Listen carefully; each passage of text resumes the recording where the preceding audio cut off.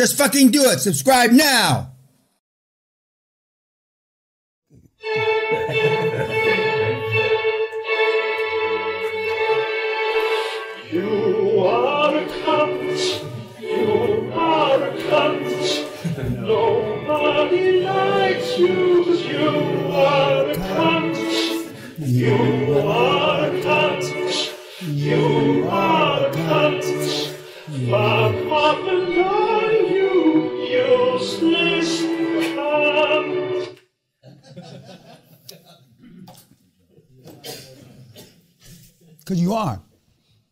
Parents were, etc., etc. And the good news is, so is the rest of the world. If the rest of the world was like me, you wasted your money. No amount of money could you be taught how to compete. Because people that, for example, Sparta, the Spartans, nobody could compete against them. Notwithstanding the 300 of them died, like schmucks, uh, you know, in that movie. Um, but the rest of the world are cunts. That's why 97.5% or 97.6% of the people that take the super success test fail. Because 97.5% uh, uh, wouldn't do anything when you spit in your mom's face. Which I can't even hardly get the words out of my mouth. Uh, that, that's true, but it is true. So all you got to do is step, as I told you uh, the first day, get 5% as good as my communication skills, you're a billionaire. Flat fucking guarantee. Most of you, on a scale from 1 to 100, are minus 50. You're not even one. But so is the rest of the world. And when you put the bankers and the uh, motivated sellers and the accountants and the lawyers and the potential board members on their back foot, that'll be your first step. You know how when, uh, what's his name, landed in 1969 on the moon? One small step for man, uh, whatever he said? Okay, that's, that'll be you for the first time. For, now, the guys, like last night you saw, you know, love doesn't mean shit, which I, I, I, I've known that since I'm eight, nine years old. You still think it means shit. If I know, let's say 10, let's say 10, not 8, 9. Let's say since I'm 10 years old, so for 64 years I know, I've known love doesn't mean dick. And you just discovered it last night when you saw the movie. Now, have, is it because I've lived in a cave? No, not hardly. But we're a product of our social and economic milieu. That's fancy for we're, uh, we're a product of uh, uh, where we came from and where we've lived. That's what we're a product of.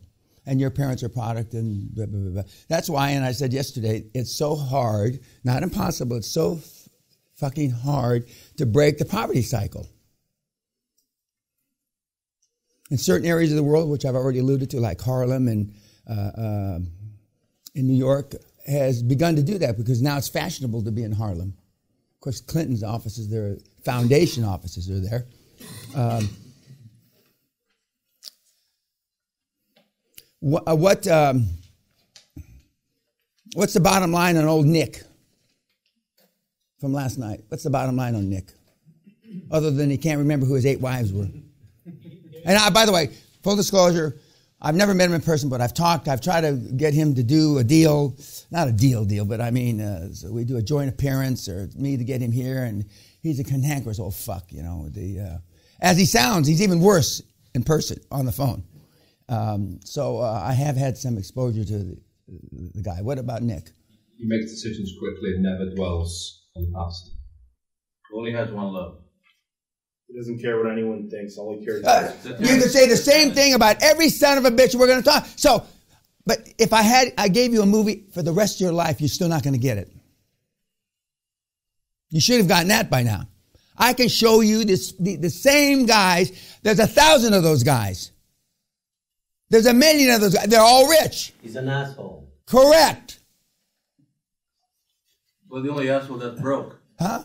The only asshole that was broke. Yeah, well, no, well, he's but he he, his, his students aren't broke. He's broke because he, he he made a bad deal when he sold off to IMG or whatever the name of that company is. care. He didn't want it anyway. Yeah, well, that's what they all say. All poor people say they don't care, and all people that lost their money say they don't care. They're crazy. That's bullshit. Because they don't have a plan. Yeah, yeah. Everybody that had a lot of money that lost it cares. Believe me.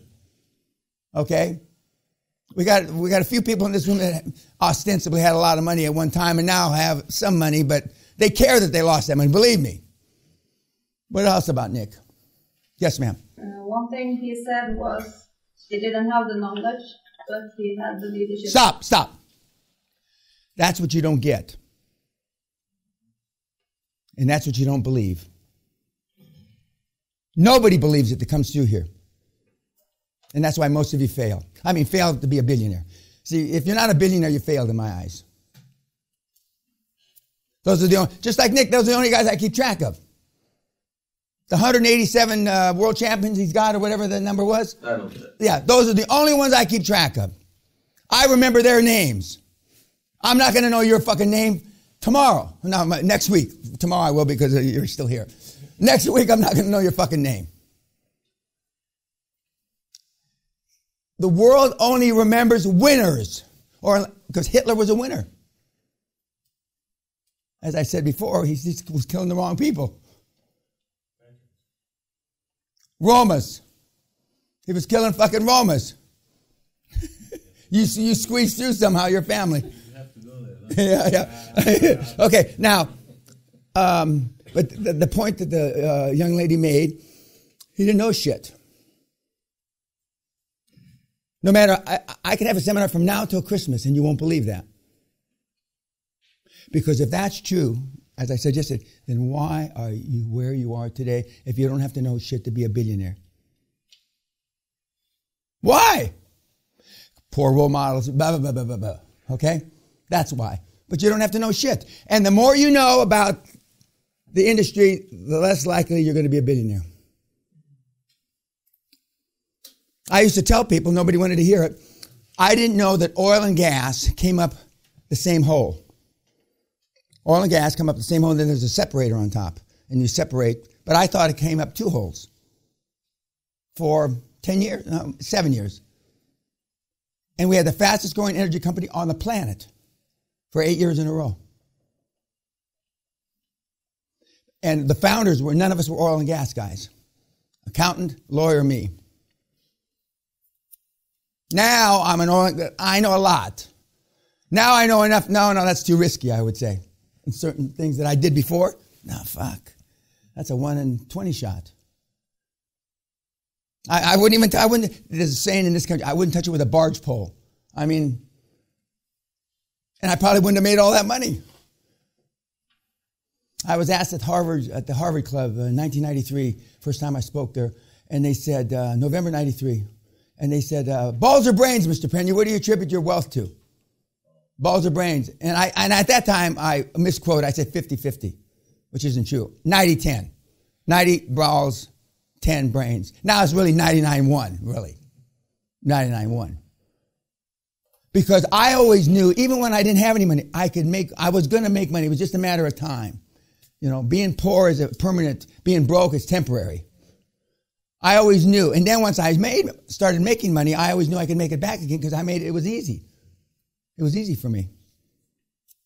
And once you think making money is easy, then your decision making process is like this.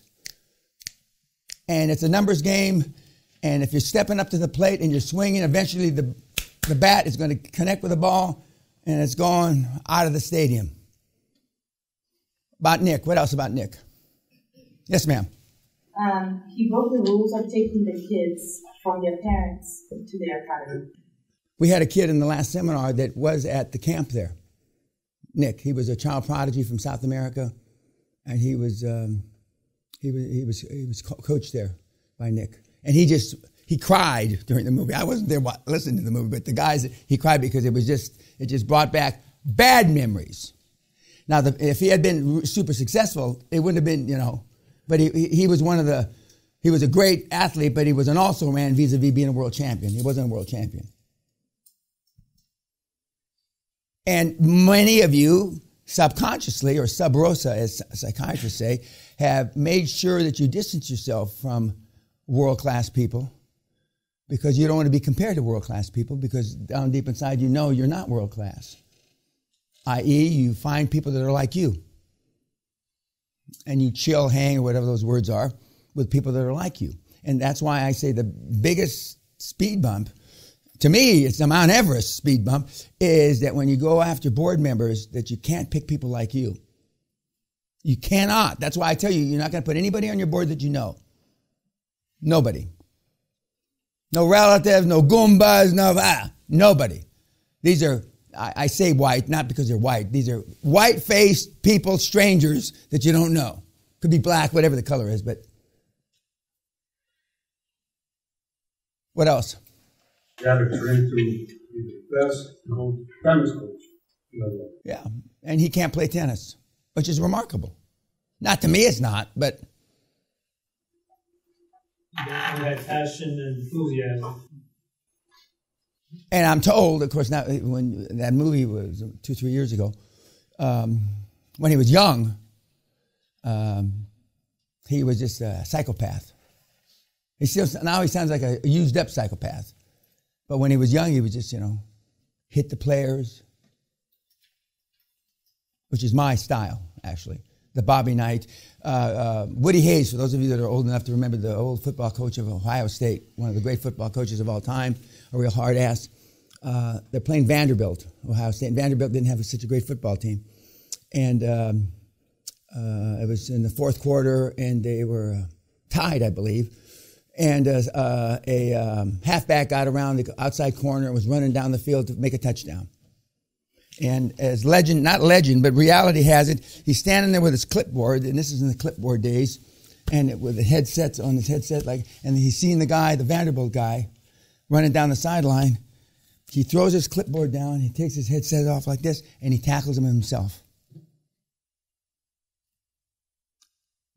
To be beat by Vanderbilt in those days was an ins- insulting to uh, the number one or two or three rank uh, U.S. football team. That was the end of his football career. Ohio State, the chancellors or whoever fired him. He never got another job doing anything. There's some things worth dying for. And to him, the old man, to have a Vanderbilt pussy cunt outrun his defense and score was more than Woody Hayes could take. So he fucking tackled him himself. To the roar of the Ohio State side, by the way. And he never worked again. They canceled his pension because they had an embarrassment clause. Remember I talked about embarrassment clause? He walked away from Ohio State with not a fucking quarter. And he knew that when he was going to tackle the guy. You'd be spreadsheeting it. I wonder what they're going to do. They're going to fire me? What else about Nick? Yes, sir. He ruthlessly focused on winners, and whenever he felt like somebody didn't have the potential to do that, he went on to the next person. Correct. No matter what. It's a number. Well, even coaching is a numbers game. Coach, yeah, but he had a pool, a universe of ostensibly stars, and he made them superstars. You believe in making mistakes when necessary to get to the top? Well, I mean, you have the. He thought he was right. He, well, he didn't care. He, he, he didn't think. He knew he was right. But he, he had that same attitude when he started coaching 40 years ago. He just reacted. He pulled the trigger. And that's why you just fucking do it. It's pulling the trigger. The kids that have been the most successful with the QLA program are people that pull the trigger the most. Pull the trigger the most. You believe in mental power. Well, it is. Uh, uh, your, your success and your failure are between your ears. Was a life coach. Well, no, uh, no, no, no. Life coach, it means something else today. Life, life coach is, that's all horseshit. I've never meditated a thousandth of it. I'm not going to embarrass you because I don't want to know. I took the question off the your forms because I don't want to know. I, I'm embarrassed for you if you meditate. I'm fucking embarrassed. So I don't ask the question anymore because I spent too much time during the seminar beating on you. But I have not meditated one hundred millionth of a second my whole motherfucking life. I think it's jerking off. At least jerk off, you get something in your hand if you do it right. Or on me on the ceiling. boom, boom, boom. My old car that I used to drive around when I was 16 years old had stains on the roof. Now I'm telling you how it is. You wish that you had put those fucking stains up there. I had a thing called a cum rag in my glove box. And one day I'm taking my mother to the store, and my mother opened up a glove compartment and says, What is this? Uh, Mama, put that back in there. I mean, this is how it is. I mean, this ain't the fucking firewalk. What else? Yes, sir. He created a competitive environment for people in which he, they fought for his attention, they competed with each other, and he created more energy and more drive for them. Yeah, and uh, I liken this to, you know, people say, uh, uh, what kid do you love most? You know, I love all my kids the same. But that's a fucking lie. We all know that's a, that is a, that is the biggest fucking lie there ever was. You don't love all your kids the same. You know it in your heart. This one's a loser, this one's a loser, and this one's good. A winner. Yes. But we all, I don't say that. Uh, it's because, uh, well, me of all people, I'm not going to say I love them because I don't. But you treat, and inadvertently, on a subconscious level, you treat people differently. That you treat people with you have respect for differently than people that you don't have respect for. And the same as coaching. Uh, they used to call it teacher's uh, favorite, teacher's pet. Well, I was never the teacher's pet going to school, and I was never the teacher's favorite. Um, but you treat them differently, and that's all the more reason why you need to pick. You you must. It's an absolute, and there's not many absolutes in QLA because you can make a lot of mistakes on almost every level. But it's an absolute that you pick people that are not you. Now, every once in a while, every four or five years, I get an alpha male leadership fucking bulldozer come through, and um, but that hasn't been the case for a long time. But uh, then you can pick people like you. Then it's tough because remember we pick people on the board, as I've said, the lady yesterday, uh, that uh, supplement or complement, I should say, complement uh, your uh, weaknesses. Well, in your particular case, uh, you almost all have you have no strengths. You got virtually no, you know, no strengths. It's not just you, but the kids in YouTube and the kids that come to the seminar. They have maybe let's let's say that we break down into ten traits. I'm not saying that ten is the number. We've got we do ten all ten bad poorly, and we do seven of them real badly. Real badly. So you focus on the three that you don't. You're not the worst in, and you make those better. And the other seven that you comp, you supplement and or complement with your board members. But I mean, you guys and gals are, are dealing with a clean piece of paper because you don't have that many strengths. Now, and it's just the antithesis. You've been told you're good at this, you're good at this, you're good at good compared to who, whom, what? Compared to the person that's telling you? Well, I already know who's telling you. Show me your friends. I show you your future. First seven, eight years of life, uh, your uh, self-esteem is built. We know that that's, that's normally family members. So, uh, but unless um, uh, Joe Louis, if I was boxing, unless Joe Louis told me that you look pretty good in the ring, you know, that's like one of you telling me I'm pretty good in the ring. Doesn't mean shit. Joe Louis, yeah. It's like um, I attempted to play baseball. I, I was, uh, I'll tell you off camera what my one base. Remember I told you about my football career. Well, I've got a similar uh, happening in my baseball career. But uh, I would I would go hire Ted Williams, the, the only guy, the last guy to finish uh, full season batting over 400. He bat 406, I believe, his last year in professional baseball for the so- uh, Red Sox, I believe. Uh, I'd go hire him to be my batting coach. Um, and that's why, unfortunately, the people that the gurus, and, and, there are some gurus out there that are worth a shit, but for the most part, they attract so many because they attract people that are like them. Weak. What else? Anything else about Nick? Yes, sir. Uh, he said if he was emotional, he never would have made it. And that's why I see I don't have breakfast with you, I don't have lunch with you. I, I, I, I don't even want to have dinner with you. But Sally says I, that's too antisocial. So I, she, she makes me. I don't have dinner with you. I don't give a fuck. Because you're just, I'm gonna, I'm gonna put a bullet in most of your heads. Or as they say where I come, I'm gonna put a cap in your ass. And I know it. No matter how hard you try. Boom. Because you're not gonna follow the steps. You make it easy for me. We're talking about um, arguably the finest tennis coach that ever was, has more champions, Nick Bollettieri. Uh, he's 88 or 86 or 89 now. Um, he sold his company out 20, 25 years ago to the big management company uh, that um, also manages a lot of the golf pros, baseball pros, etc. Um, and um, as I said, I ranted and raved yesterday. If religion and, and, and love got the job done, you wouldn't be here. Well, he just focuses on love. Uh, I don't think he talks about religion, but um, he focuses on love because it doesn't get the job done. But I find it ironic. People send their kids there at the formative ages to an old psychopath that only believes in one thing winning. So some parents have, you know, the spirit is willing, but the flesh is weak. Some parents want to do the right thing. They know they're not capable of the right thing. So they farm the kids off. But only ki- parents with money can farm the kids off. So most kids get left at the starting blocks because their parents don't have the money to send them to one of those schools, which is expensive.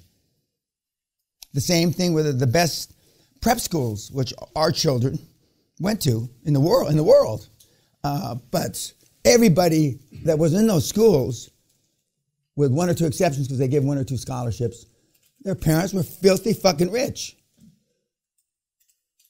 Otherwise, you can't go to those schools. It's not dissimilar for the highest priced, expensive schools like University of Pennsylvania that I spoke at a few weeks ago. But there's a lot of scholarships now. And now you can get in with student loans. But back in the day when Harvard, Yale, Princeton, Penn were founded, back in the 1700s, um, early 1800s, they didn't have those scholarships. So then only the real rich kids went because they were the only ones that could afford it. Okay, you had a comment. Yes, sir. So Nick's quote: "In life, if you don't go through wrong, you'll never reach the top of the mountain," which in QLA would result in pushing through reject, rejection in order to get to our success. Yeah. Now, when you think about it, you can sum up the obstacles that you're it, between your ears you're going to have down to one word. Now, not, not uh, fear. We've already talked about one word: rejection. Because that's what the fear manifests itself in is the rejection. If nobody rejected you in the QLA process, and it was just, you know, two plus two, uh, it'd be a slam dunk, right? We, we know that. So it's really down to rejection. Rejection transcends the fear of failure. Because when you fail, normally only you know that you fail. And that's why you set, I don't, but most people set low standards so they can get over the bar. When we talk about goals, uh, for the first, uh, I'm stealing my thunder from day after tomorrow. We set goals that we can't achieve in our lifetime. There are no limits. There's no amount of zeros at the end, and it's as fast as humanly possible most of the things that you've learned about goal setting is time frame. It's not by accident that I got super wealthy on my 39th birthday. In the back of my mind, I always said I, I had to do it before I was 40. I had to do it before. And I, I was already worth 15, 20 million bucks. Then I lost it.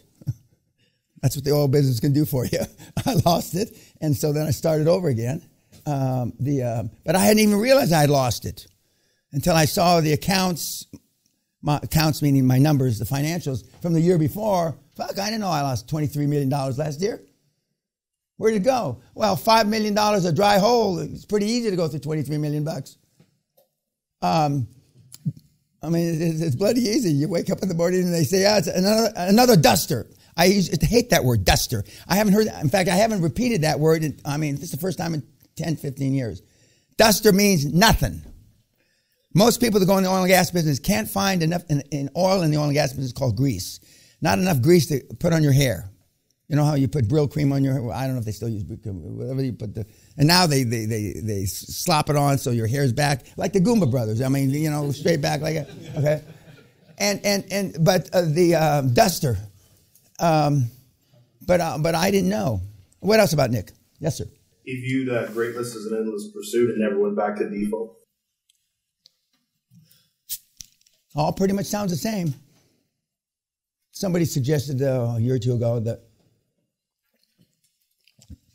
I put on on a line an en- endless loop. I think is the terminology um, about one psychopath after another psychopath after another psychopath, and uh, see, somebody a producer um, asked me, uh, "Could we have one a day?" I said, "Fuck, we could have ten a day on the loop."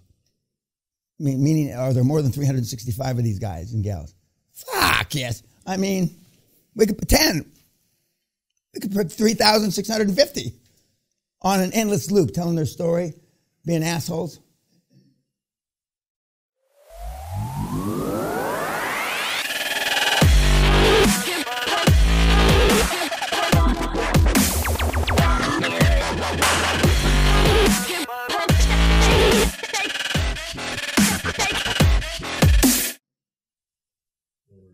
I mean, uh, yeah, but I mean, so I said, there's no problem coming up with 360 of them. Shit. I can come off the, almost the top of my head with 360. But most of the people in the seminar don't know all the guys that I know. And I don't read a, two books a day. I don't read any books. I haven't read a book in five years. When I want to feel good and cry, I read my own book. Damn, that shit's good. Fuck. Uh, how good can I be? okay, what else about Nick? Yes, ma'am. Excuse me. When he caught Andre Agassi, and he happened to be was one of his favorite, and he sent him a letter. Did he bother to call him or? I, I, to me, that's chicken shit. But anyway, uh, uh, and by the way, we're going to talk. We, we spend 30 minutes on how to fire people tomorrow. There's a right way, and there's many, many wrong ways. But it's not by text. It's not, you know, none of that shit. I mean, it's eyeball to eyeball. Um, now, the interesting thing part about Nick is that he has produced many, many, many, many, many superstars using the same psycho methodology that hasn't really changed in 30, 40 years. People ask me, why am I hard? It works. Fear works. Even though it's a shitty, as I said yesterday, it's a shitty way to run a railroad, it works. But not for everybody because most people break. We had a couple more um, resignation emails this morning not nobody in here, but I mean from the last seminar five weeks ago.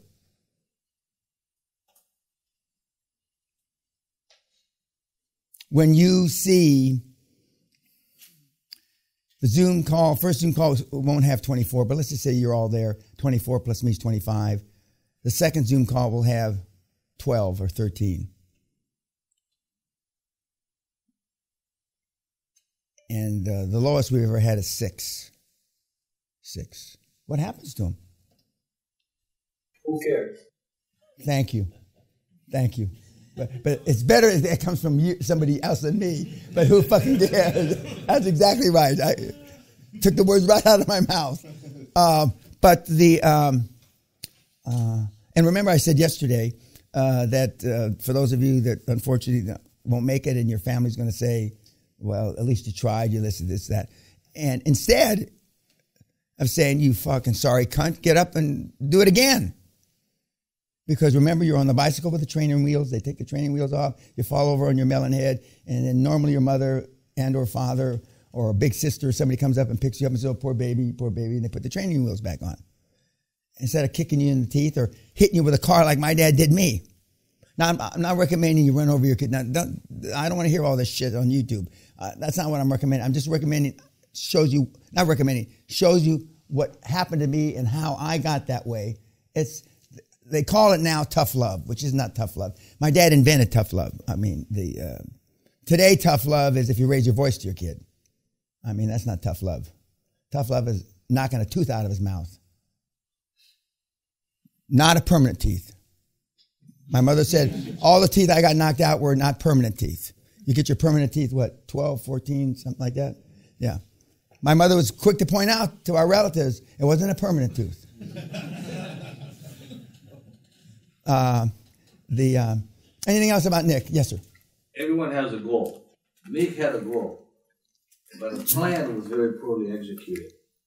He, he was he was hoping that everybody who gets to get a title would give him money at the end. After he gets the title, Yeah. would kick him money to fund for his for his academy, and that's not what happened. And virtually nobody did. Nobody did. so his plan of execution was not good. Yeah. And I tell you, you make 10, 20, 50 million, God be with you, Allah be with you. I never hear from you again. Uh, a, a second uh, um, iteration of that is a lot of the kids won't talk to you like the ones that have filmed so far. They don't give a fuck. I'm on board, pull up the gangplank, your competition. That's it. That's what they think. Okay. So a vast majority of my successes, even though I know them and I know who they are, and they keep more or less keep loose touch with me, uh, don't want to help you. I got um, two years ago when uh, we were coming up with the, the fifty billion dollar number, maybe five, six years ago, whenever that was. I got an email, um, a registered letter from um, HSBC, the vice chairman of HSBC worldwide, saying that uh, our client so and so has asked us to put this together, and it's a uh, source of funds, which uh, is uh, verify the money he had. I hadn't heard from him in many years, many many years. He went to the seminar in 2004, I believe, four, before the mentor program, whatever. And he had the the, the letter, and it broke down his ca- he, cash or cash equivalents. $841 million, the kid. Uh, not stocks, bond, uh, cash or cash equivalents. The guy had 841 million. So I assume he's got other assets, so he's probably a billionaire. I never heard from him. But he wanted me to send it in, so, you know, here- here's something to add to your numbers. Hadn't heard from him in years and years and years. I remember the first time I ever met him, though, uh, which was about 2000 ish. Sally and I met him at the Churchill Hotel in London. He had grease under his fingernails from a little village in, uh, in uh, Germany. What did he do? Huh? What did he do? Uh, he did he did his in high tech and property. High tech and property, and um, the um, so w- once in a while, once in a while, or if when a guy loses five hundred million, I, I normally hear from him. I wish I had contacted you three or four years ago. I went into this, went into this. uh, you know. So it's either when they- hit it out of the park, or they lost. They hit it out of the park and then they lost it. Then I hear from him. Then I hear from him. Anything else about Nick? He Yes, started when he was between 40 and 50 years old. Correct. The oldest person we've had come through the seminar that's been successful, 77 years old. Youngest, 13. 77. 77. Was there an echo? Did I say it? No, no, no. But, you know, 77.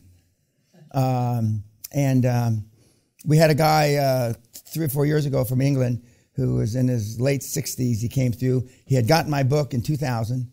He turned it into 260 or 280 million pounds. And he came to the seminar. He says, because I should have been a billionaire. But I mean, he got lazy, he got sloppy. He turned his businesses over to his three sons.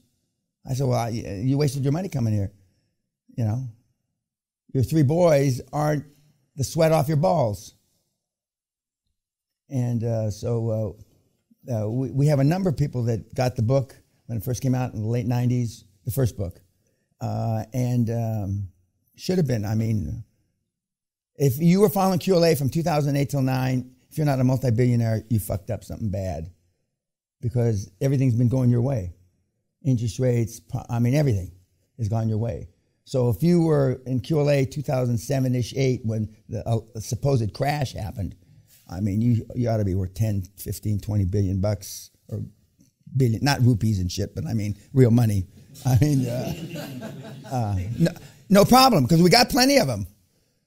When, uh, one of the reasons we use $50 billion man, although we've uh, done 770 some billion, is that if I ever have to go to court to prove it, one name, one guy, 56 billion. One name, one guy, one industry, 56 billion. I rest my case, Your Honor. That's why we stay at 50 billion. So I don't have to go around because they may not want to come to court to prove that they're. 56 billion, one guy. One guy who doesn't talk to me. What the Queen's worth. Huh? Yeah. Well, the, I wish that I, I wish I had got a hold of the Queen's kids. The only thing that she's she's been a perfect monarch. The only thing she ever did wrong was the kids she had. And you can't. Now you ask her, do you love them all the same? Can you just imagine what Her Majesty would say? Off the record, off the phone. And we've had royals here. I, uh, I've met five of the royals Princess Di, Prince Charles, Princess Anne, the Queen, uh, her husband, her cantankerous old husband. Uh, anything else? Yes, sir. Not about Nick, but about Jim and Agassi when they had a fight. They had a match, and Jim won, even though Agassi was more talented and more. You mean Jim Courier? Yes. Okay. Uh, even though Agassi was talented and more more well positioned to win, he basically intimidated him and won. You're going to intimidate. You're going to be the less qualified person in the room. You're going to be the weak link. You will. If you're not the weak link, something's wrong with your fucking board. If you're not the weak link, you're, something's wrong. Um, the um, yet you're going to prevail because you know, as my wife would say, which buttons to push and over time, not the first meeting you have, over time, and when you realize what your, your strong suits are, you know when to push them.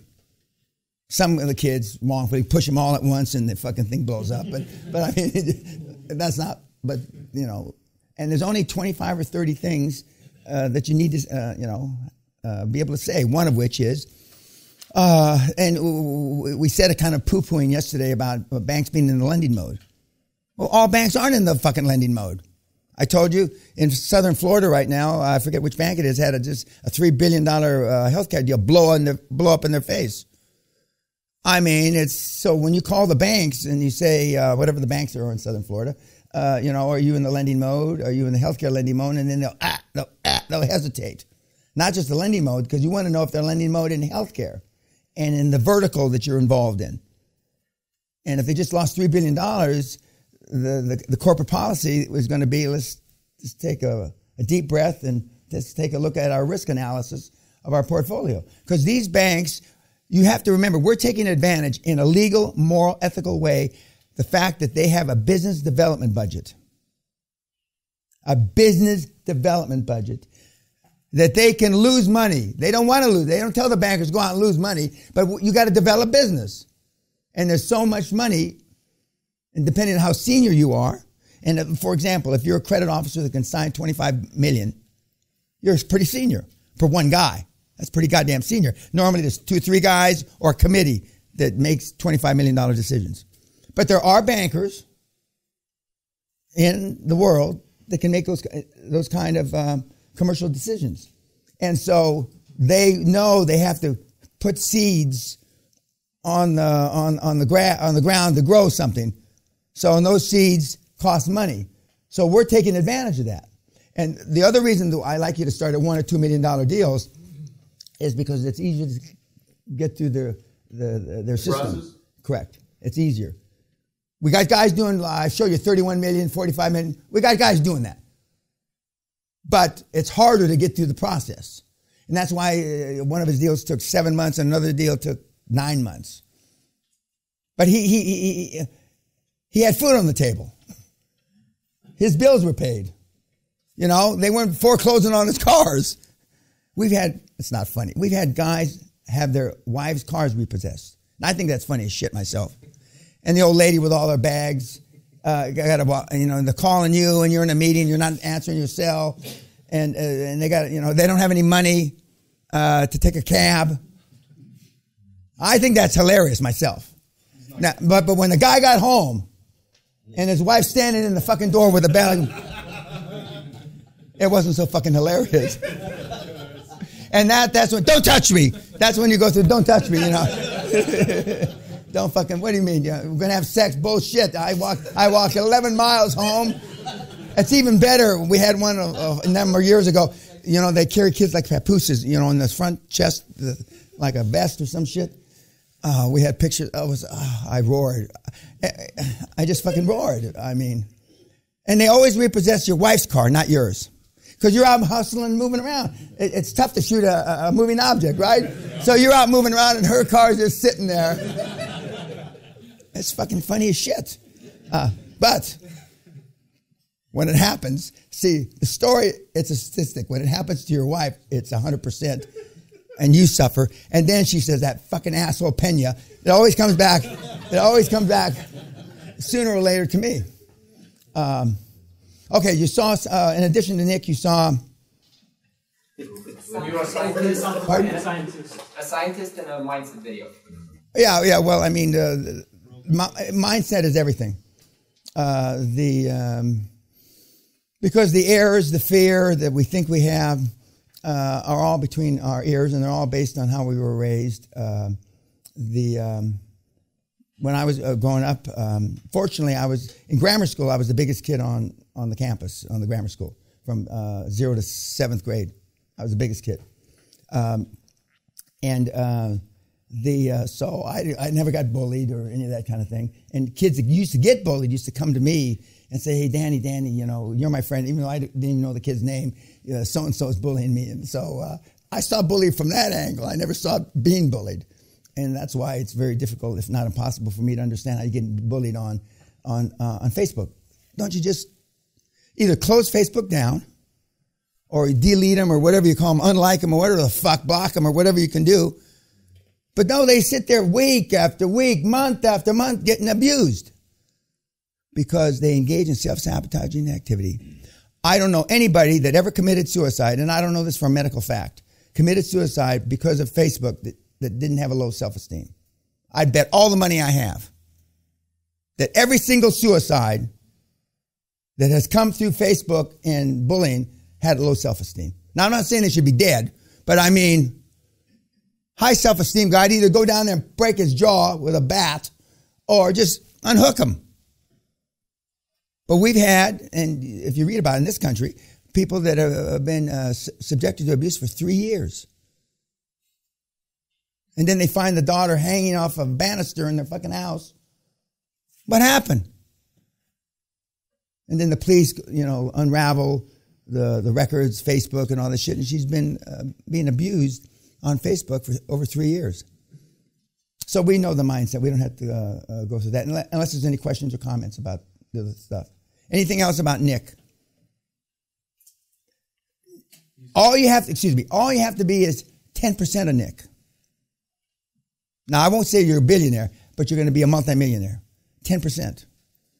And, and we, we, we keep hounding these same profiles, uh, character profiles, uh, because I know you're not going to become Jobs, an asshole, this big asshole. Uh, it's not likely you're going to become uh, the, the guy from McDonald's. It's not likely you're going to become uh, the like Nick, uh, not just because he, he's going to die poor unless he changes his model. Um, but to drag you from your end of the continuum, drag you from your end of the continuum towards at least the center. A few of you are in the center now. And so then we'll drag you from the center towards my end. But remember, 98% of all the high performance people in the world are introverts. 98% are introverts. Only 2% are extroverts, and only 10% of that 2% are loudmouth psychopaths like President Trump and myself. They're, regular guys. And, and so far, of the people that you've seen on screen, who, you can uh, blurt it out, who relates to anybody, if any, if at all, to the people that you've seen, the success stories we've shown? Yes, sir. Well, I do to, uh, you mean the webinars, right? Yeah, your webinar, yes, sir. Absolutely. I mean, to who, though? Whom? Uh, the French girl and uh, also the Arab kid. I mean, all of them had something very I mean, I, I could relate to basically. Yeah. Yeah, bits and pieces. the um, and you're going to see the majority of them now starting today, going through uh, the last day. Um, but it, it's like I, I sometimes I think I'm uh, working with clay or I'm, uh, I'm building an automaton or an android. We take uh, Churchill's this, and we take uh, the French broads this, and we, we we take the gangbanger, the Vietnamese gangbanger this, and then I got a guy like you know like Frankenstein, you know, with bolts in his neck, and but I mean every one of these people have one thing in common: they're successful. I mean that they've all got in common, and they all started this process from scratch. That's the second thing they have in common. And everybody you've seen to date, well, I mean, uh, the French girls got a few bucks, and but I mean, basically, they started this project with zero. So that pretty much covers everybody in this room. And as I told you before, um, I told of at least one or two of the interview uh, people I saw in my office and one on one time. If you have some money, the process is even easier. But we teach you how to use the process, uh, being essentially with no money, broke, broke. Yes, sir. I uh, was very impressed by uh, Jessica because she said before I left the castle, I have a schedule, connections, I picked my industries, and I knew my strengths and weaknesses. So when you leave here, she had a Okay. Now Jessica has some decent leadership sk- skills. I mean, you can tell. I mean, it's pretty obvious the way she talks. I mean, now to pull up and move, even though it's only 140 miles to move from Dallas to Houston, when you got teenage kids, is a big. I'm told is a big fucking deal. Husband quits his job. Whether that's a big fucking deal or not, I don't know. Uh, but most husbands wouldn't quit their job. Yeah, yeah, and and and as, until we got some money coming in the door, then I'll quit my job. But you know, she might say, "Don't touch me," and uh, you touch me again after you quit your job, and we move. I don't, I don't know how that worked, but um, it's it's obvious that she exhibits uh, leadership skills, and um, and she's made a lot of mistakes. She only pointed out a few of them on on, on the webinar, uh, and she correctly said, you know, if I'd listened to Dan 100 percent, she listened to me maybe 95 percent and it's the five percent that you don't listen that you step on your dick and, it, and it's self-sabotaging. It just is. Because i know the 10 or 12 things that are most likely to go wrong in this model sideways. Not not just that you don't follow the steps. That's the biggest. Guys go from step one to step five. Because they've got an uncle a cousin a brother a best mate a mistress that are accountants lawyers m&a people at goldman sachs and they put their team together with people they know it blows up. We've never, I'll put it another way, we've never had it not blow up. Because when you get all those high powered, more high performance people than you on the board, it doesn't even take them a board meeting to figure out you know add, add no value. That not, you don't even have to get to the fucking first board meeting. And the reason I, it's the only time I'm protecting you, just like when you fell off the bicycle with no trainer wheels and you hit it on your head. I'm trying to keep you from falling off the bicycle and hitting your melon head.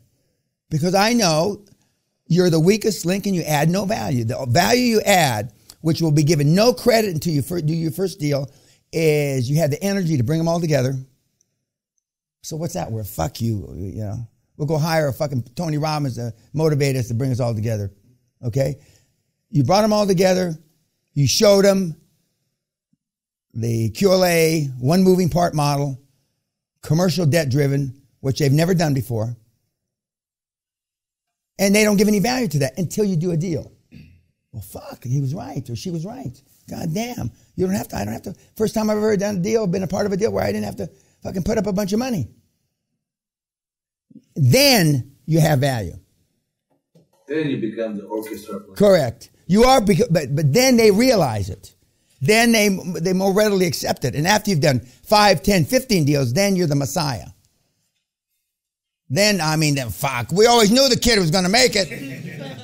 we always knew that tub of shit was going to make it. Blah, blah, blah. Of course, they didn't think that. And the reason why you don't want them to meet and talk behind without you being there, by the way, you attend every fucking meeting. You don't send I don't care if you've got pneumonia, your wife, uh, your kid is half out your wife's uh, uterus, you go to the fucking meeting. Because only bad shit happens when you're not at the meeting. What meeting? The well, any meeting for the accountants, the lawyers, anybody, because you, you're going to have a guy that will say, "Well, I'll recruit the board for you." Fuck you. But you'll say, "No, no, that, I appreciate the offer, but I'd rather be involved in all the, the minutia at that level right now because it's just it's a new it's a new co it's a new organization. You'll figure out some nicer way to say it. But if they press the issue, then you got to be harder. Remember, be firm and fair. Firm and fair. Now, firm to me is not firm to you. Firm, my firm is probably savage, you know, compared to some of the kids. Okay, YouTube, thank you.